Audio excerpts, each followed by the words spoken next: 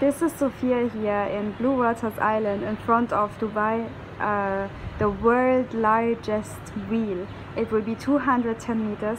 It will be an attraction of Dubai, which makes this place here very good also for investment opportunities. So I'm here in a two bedroom apartment. Uh, I'm in the balcony from one of the apartments in Bluewaters Residences and we can see we have marina view and sea view and the best view actually. So that's the apartment highly luxurious with the kitchen island which is actually standard in this community. And we can see the size of this living room is also quite impressive.